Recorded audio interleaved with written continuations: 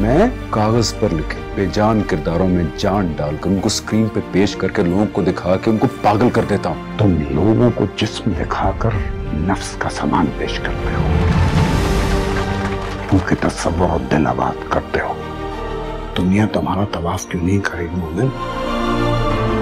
अपने ज़िंदगी के सत्तर साल इस कैलीग्राफी को देखे क्या कमाया आपने? मेरे पास ये क्रेडिट कार्ड्स नहीं है ऐसा घर नहीं है। मुझे करोड़ों लोग न जानते, न पहचानते, लेकिन अल्लाह मुझे जानता है, पहचानता है। तुम्हें जानता है वो?